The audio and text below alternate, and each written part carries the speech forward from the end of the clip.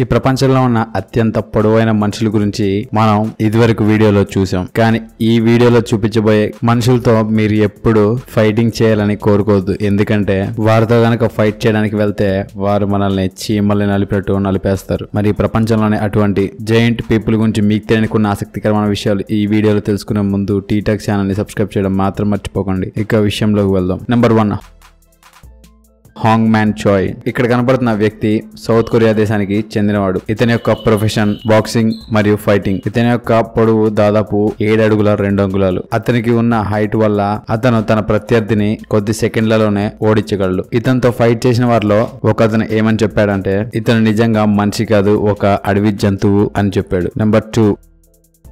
Oliver Richter. ఇతను ప్రపంచంలోనే అత్యంత పొడవైన బాడీ బిల్డర్లో ఒకడు. ఇతని యొక్క పొడవు ఏడడుగుల రెండు అంగుళాలు. ప్రపంచవ్యాప్తంగా ఇతన్ని ఇన్స్టాగ్రామ్ మరియు ఫేస్బుక్లో ఫాలో అవుతూ ఉంటారు. ప్రస్తుతం ఇతను హాలీవుడ్ మూవీస్లో పనిచేస్తున్నాడు. Number three.